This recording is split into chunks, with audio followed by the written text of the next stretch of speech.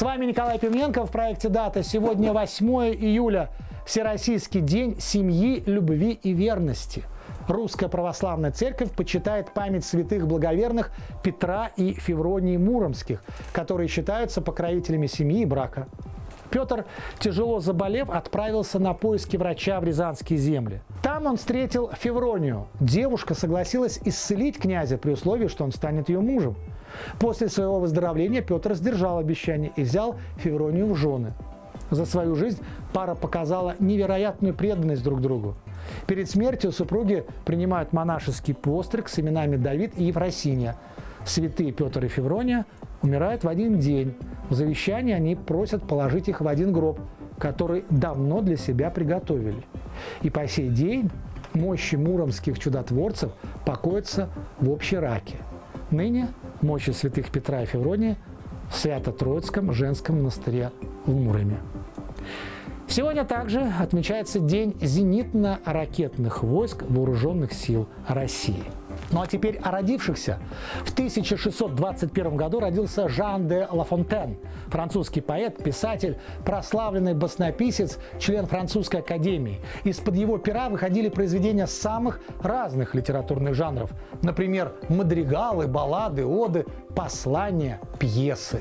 И лишь амплуа баснописца принесло ему мировую славу. Басни сделали его одним из великих народных национальных поэтов. Были переведены на самые разные языки мира. 1838 год – день рождения Фердинанда фон Цепелина, графа немецкого конструктора дирижаблей. Он принимал участие в гражданской войне США на стороне северян, а также в других войнах.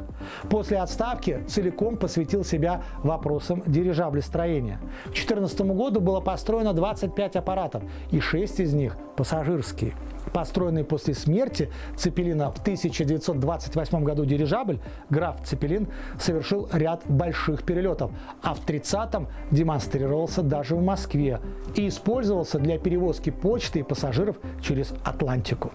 В 1894 году родился Петр Капица, физик-академик, Нобелевский лауреат 1978 года. А в 1938 году родился артист театра и кино Андрей Мягков – служебный роман, гараж, но прежде всего наше новогоднее рязановское все. Женечка Лукашин. В 1950 году родился Константин Райкин, художественный руководитель Российского государственного театра «Сатирикон» имени Аркадия Райкина, народный артист России, лауреат государственных премий, четырежды лауреат Национальной театральной премии «Золотая маска», лауреат премий Международного фонда имени Станиславского, премии имени Товстоногова и многих-многих других. Все это Константин Райкин. Художественный руководитель, профессор Высшей школы сценических искусств искусств. В 1951 году родился Стас Намин, композитор, музыкант, лидер группы «Цветы». А в 1952 году Карен Шахназаров, режиссер, сценарист и продюсер. Его творческая жизнь с самых первых шагов профессии связана с киностудией «Мосфильм». Еще будучи студентом в ГИКа, Шахназаров начинает работать ассистентом режиссера. Затем становится вторым режиссером, режиссером-постановщиком. А с 1998 года является президентом и генеральным директором Мосфильма. Среди самых известных режиссерских работ Шахназарова фильмы «Мы из джаза», «Зимний вечер в Гаграх», «Курьер». Ко многим картинам Карен Шахназаров написал сценарий.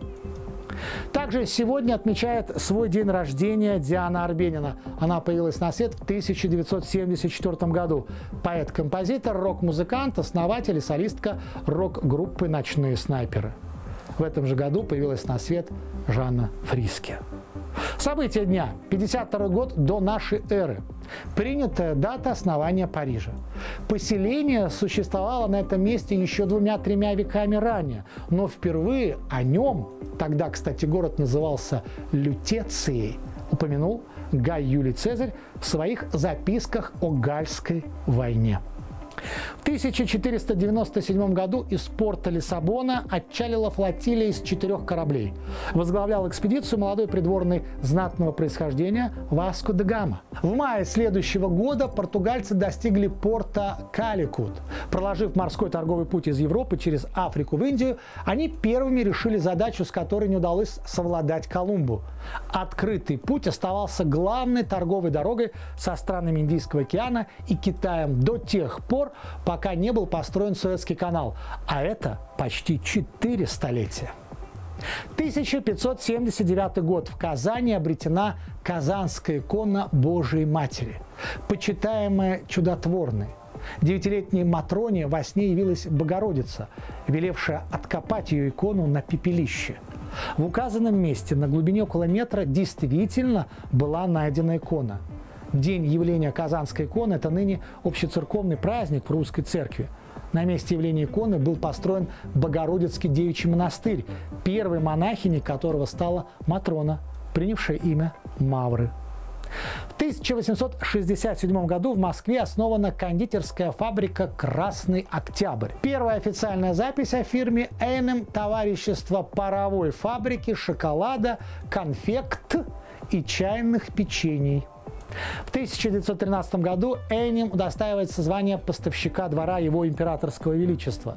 После Октябрьской революции фабрика была национализирована и стала называться Государственная кондитерская фабрика номер один, бывшая Эйнем. В 1922 году была просто переименована в Красный Октябрь. В 1981 году в Ленкоме проходит премьера мюзикла «Юнонна и Авось». Спектакль, поставленный Марком Захаровым в этом году на сцене Московского театра имени Ленинского комсомола. Рок-опера композитора Алексея Рыбникова на либретто Андрея Вознесенского. Пьер Карден даже представил Юнону и Авось французской публике в театре «Спас Карден» в Париже. Затем последовали триумфальные гастроли по всему миру. Спектакль был показан в США, Германии, Голландии и других странах. В 1990 году рок-опера «Вино авось» в течение двух месяцев шла в сити-центре Нью-Йорка. «Я тебя никогда не забуду». Кстати, это же можно сказать и о спектакле. Но еще одно событие. 1918 год. Феликс Эдмундович Дзержинский уходит в отставку с поста председателя Всероссийской чрезвычайной комиссии как свидетель по делу об убийстве сотрудниками ВЧК германского посла Мирбаха. 22 августа вновь назначен на этот пост. В качестве шефа ВЧК проводил жестокую политику репрессий против противников большевистского режима. Инициатор массового террора, института заложников и тому подобное. Ну а главной функцией ВЧК считал борьбу с контрреволюцией путем осуществления непосредственно репрессий. И еще он почему-то считал, что право расстрела для ЧК чрезвычайно важно, и что ЧК должна защищать революцию и побеждать врага, даже если меч ее при этом попадает случайно на головы невинных. Не хотелось бы находиться в это время в ненужном месте. С вами был Николай Пименко в проекте «Дата».